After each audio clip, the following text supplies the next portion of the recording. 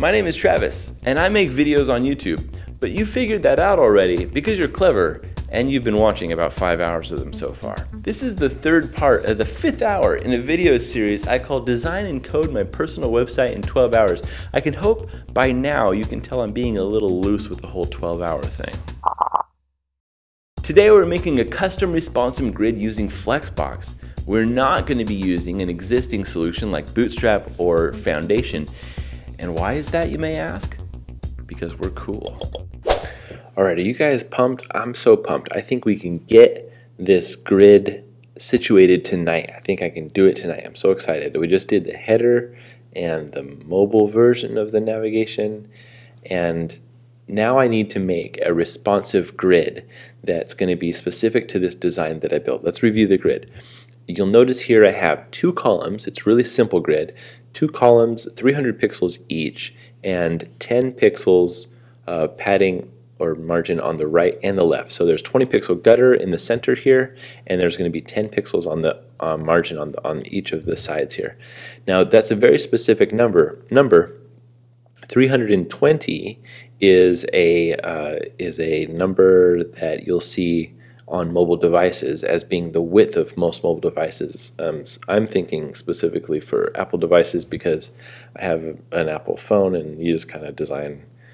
Sometimes, sometimes you end up designing for what you got because because you don't want your own phone to look dumb. Anyway, so what the grid is like, we have two columns at 320 pixels each, and then we have this side over here of 135 pixels. Okay, so let's look at how these columns work. Sometimes these columns are both together centered, and we have like this, right? A column here and a column of content here, and they're centered together and they look fine. Here is another instance of them being centered. This time, this one has elements that are going over off to the other one. But that's that's still that they will be contained in here and just like absolutely positioned and they just happen to be sitting up above. But these are two columns centered together again. So it's basically the same as the one above it. The one on top here is two columns, but one is growing out into the left, which is which is still fine. I mean, that's two columns centered, right? Still. So for the first three, we have two columns centered. This one's a little different because look, this is a column here as, as per the design, but the actual content is right here. So this one is not centered. This column is floating in the middle of, a, of half of the visible space. The other half of the visible space is 100% taken up by these boxes. So this is a very, very different situation and we'll have to take account for that possibility when we develop our grid. Now this next one also is unique. It's like the, the, the columns right here, but the design is floating within that 50% area as well, even though the 50% is not taking up this whole space. The design itself, they're, you know, they're floating in, inside of this space, inside of their 320 pixels. So the, the grid item is just floating around. And the same for these ones. These are not centered, or rather, these are not together centered. They're individually centered in their half of a column. And this one is basically a full width, right? This subscribe box goes all the way across uh, the two columns, and so we'll have to figure out how that's going to break down when it goes into a mobile view. And then similar to the podcast section, and then this one doesn't even obey any grids. So we have to make a flexible enough grid system to accommodate all of these situations. That's going to be a lot of fun. So let's get started. I'm going to go into the index.html file here, and we had this spacer, but I'm just going to create a new file in the Jade files and I'll call it uh, columns. And this is a temporary file. I don't think that it'll be a part of the eventual layout, but I'm using this as a way to test my uh, theory of how these columns will work out, right? So there's my columns file, and I go into index.html, and I'm going to create an include to include these columns, not and and, uh, percent percent. I'm going to include these columns, uh, this columns file into my layout so that I can have them rendered. Is it called column or columns? Columns. HTML. Okay. Coolio. Now check a check a look, check a look, take a look at this. These columns are showing up in the home sections. So the home sections are the places where these you know these sections and the columns that we just looked at are going to show up, right? Currently in that home section there's a div with a 2000 pixel height and I'll just leave it there. That doesn't matter but I'll put that below the columns. Actually I'll put these columns above that thing so we can mess with it. Okay cool. Cool cool cool. So in our columns uh, new document here we're going to simulate what it's like to be creating these sections. And so we're just going to use the section uh, HTML element and you can class these things like so the first one is going to be a, about. And inside the about I want to have two columns right? So column dash one and uh, another column dash one. Inside column dash one I'll have a, a paragraph you know it doesn't doesn't matter right now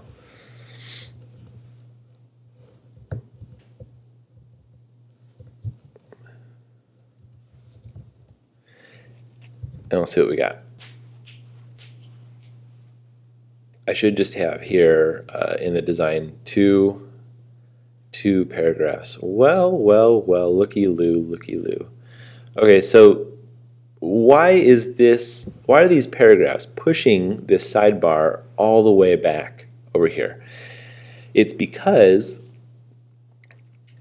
they are set to display flex, these two columns in uh, in the index right here. So uh, home wrap and oh sorry no header the header element and the home sections are set to display flex and they're flexing out without being told what should take priority what should flex what should not flex so let's go back into the home Sass and say home wrap display flex and I'll identify um, this element right here home sections class home sections and I'll say flex 1.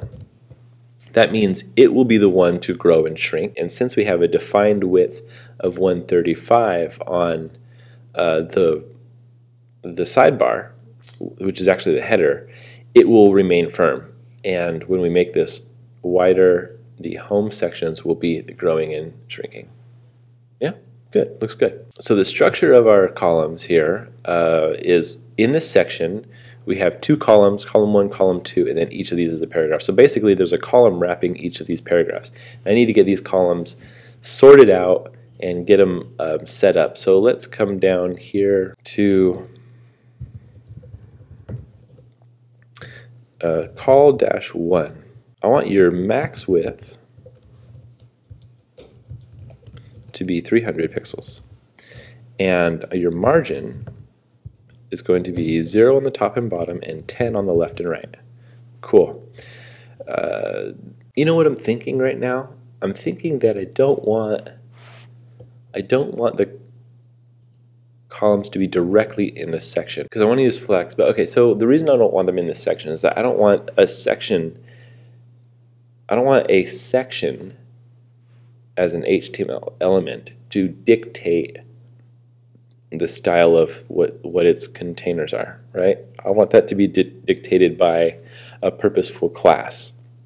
So I'll wrap these two columns in a class in a, in a div with a class of uh, let's say flex.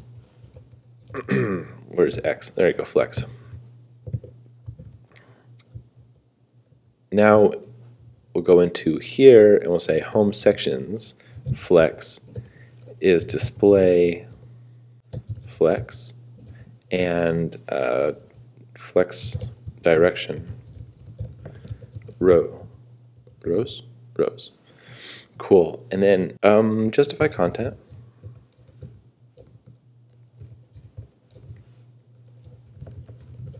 Center all right, now our two columns are looking good. And But I can put like styles on the sections that would be not pertaining to the columns themselves because like I don't want to restrict the sections to being column parents every time. Maybe I want some content outside of um, the flex parent, or maybe I want two kind of types of columns in the same section, right? So I'm being a little bit like forward thinking about this, and I want the flex element here to be the distributor of the flex kind of properties. I don't think I'm explaining that very well, but you'll see what I mean. So, but we can say section right here, and I just want to put some padding on it, like 50. 50 pixels of padding? Yeah, that's fine. Oh, but left and right, zero. Okay. so let me show you with these columns. We'll put a background of pink. Now we can see how these columns are working, that when I get bigger, these columns stay centered. And that's good. That's exactly what we wanted. but we need to put what happens when these columns get too small. I don't want it in a, in a mobile setting these columns still be there. So remember the max width of the columns is going to be 640 pixels because 320 times 2 is 640. So we'll say at media max width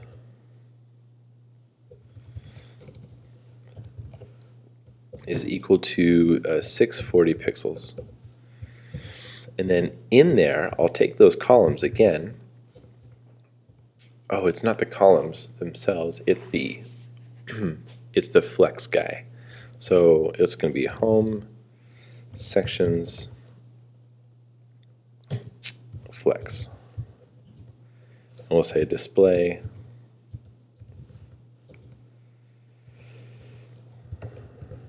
Block.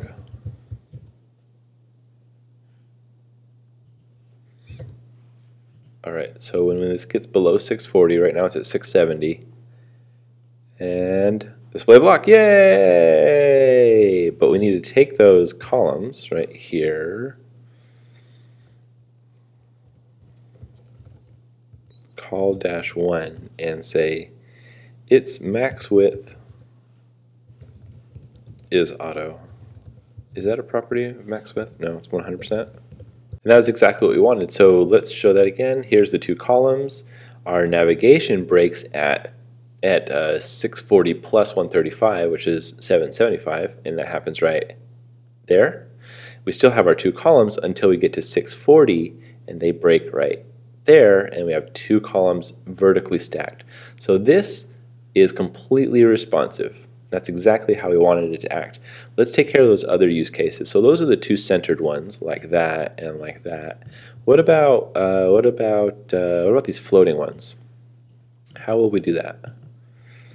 Column two. What do we have here? Column jade flex. Let's say flex center.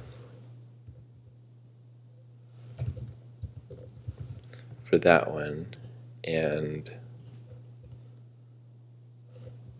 we'll break this guy off and say flex dash dash center. And then let's make another class that says uh, flex dash dash space around and justify content space around. Now we need to, if we have two more columns, in a different section.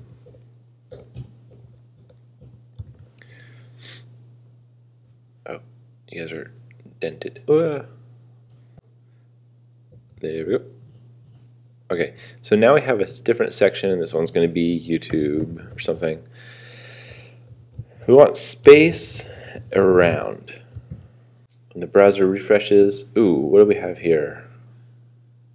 I don't think I did it right. Did I not put it in the HTML? Justify.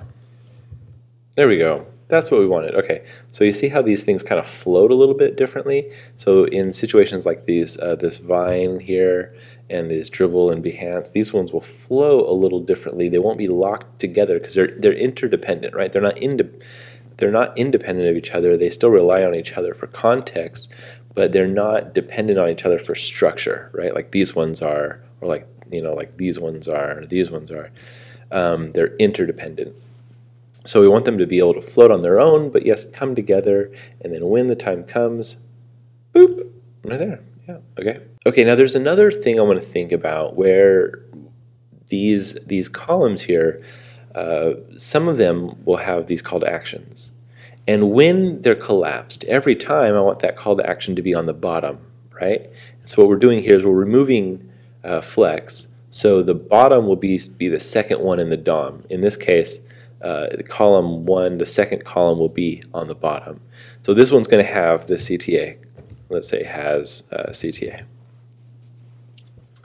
And that's fine, but when it's flexed, sometimes I need that has CTA to be on the left, right? I need it to be ordered a little bit differently. And so how I'm going to do that is, let's say if this one has a, um, a CTA on it, and what has CTA, I don't want to focus on the fact that it has a CTA, it's just going to be the one. Mm -hmm. We want to say um, order first. I guess that would be fine. Uh, so here we go to flex. Order first is going to be uh, order negative, uh, negative 1.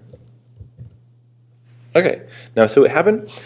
The, the CTA here is on the left, and that's kind of what we want for this style. And then when we, when we shrink our browser down, it will be on the bottom because the order property is dependent on the display flex property.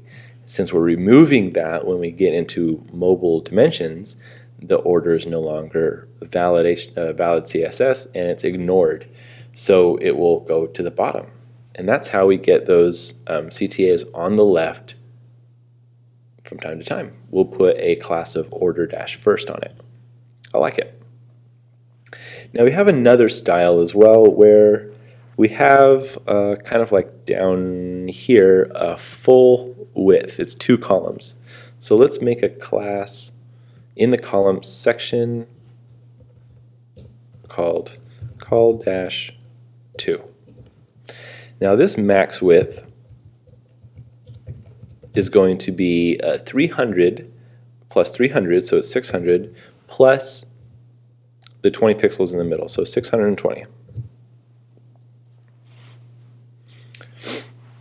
Now it's accommodating for the margins in the middle, but it's not accommodating for the margins on the right and the left. So we need to add those, similar to how we did in the column dash one, column the margin 0, 10 pixels on the right and the left. That's, that's it.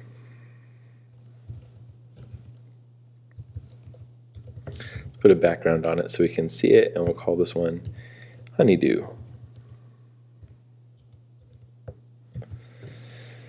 If we go into our columns.jade, let's grab another section.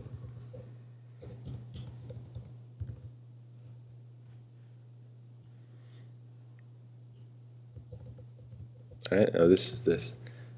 We don't need that second column because we're just doing a one column thing that will span both columns, so column 2. I don't know what flex space around will do. Okay, um, yeah, that worked. Here's one column that sits in the middle and oh, we need to put flex center.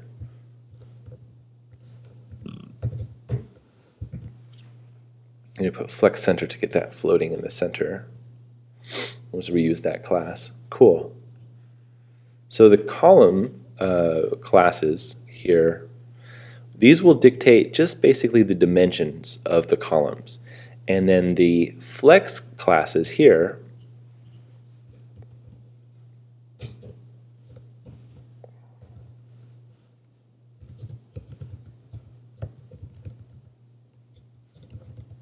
will affect how those columns are displayed and in what way.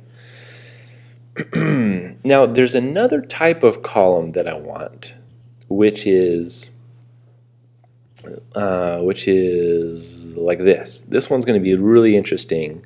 This one's going to be, it's not limited to 320 pixels, right? It's basically going to ignore that convention. So I want to have, and I'll just call it a col dash 50 because it's 50% of the width, even though it's not 50 columns, but you with me, you get me. Um, so I'll say width is 50%. Yeah, that's good. So we'll make another um, another section here below this one.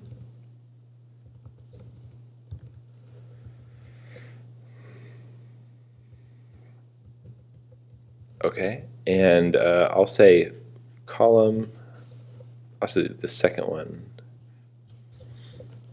column 50. Not space around.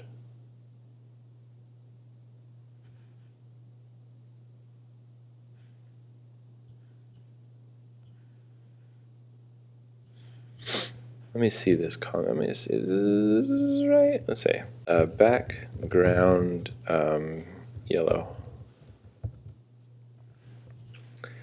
It's 50% wide, but it's not touching the edges like I wanted. It's not doing what I wanted because it's space around. So what I need to do, okay, here's what I need to do on that one. I think that I can make this work with just the existing classes. So space around becomes center, and column 1 actually gets inside of column 50. So, so there's going to be two column 50s here. They're going to be centered, and then column 50 gets flex and flex center. flex center, okay, as well. Now, hoping what will happen here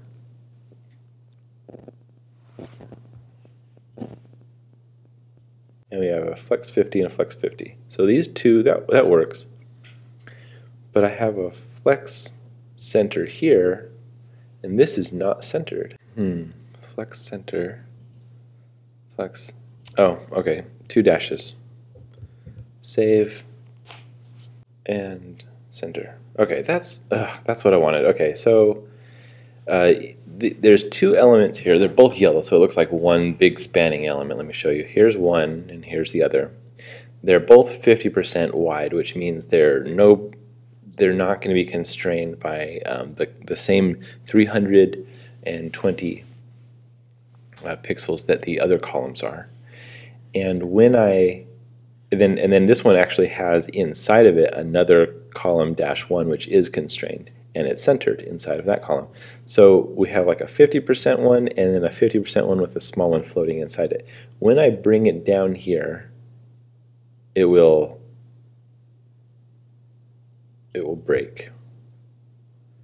But I, that's good. That's good. But I um, because it needs to be not uh, flex um, it, but it needs to be full width again. So in home, under this column, I'll say call col dash 50. That's a class. width is um, auto. There we are. I think that's all of the use cases, right? So we have column, floating columns, one big centered column, and then like 50% width that collapses and stuff like that. I think that's just about everything. All right, I'm very happy. So we, what we've done now is we've built a, a grid, custom uh, flexible grid, responsive grid, just for this design. And because we know exactly what our design is going to be, we know exactly what I want, our grid can be like tailored exactly to what we need. So yeah, looking pretty good. Oh yeah, buddy. We're in a great place for next week's video where we lay out the hero section and the YouTube section. This grid is awesome. All right, by now you know the drill. If you haven't already, subscribe to the channel. What are you waiting for? And uh, hit me up on Twitter at Dev Tips Show. And if you haven't yet, find the patron immediately to your left and thank them. Thank you. They make this content free for everybody by supporting the channel, and they do so on at patreon.com slash devtips. Here is a list of the patrons. These people are incredible human beings and they enjoy certain perks for being a patron, and I'll tell you about them some other time. And if you want to skip ahead to that, you can visit patreon.com slash devtips. And until our next video, please don't ever stop hacking. Keep on hacking.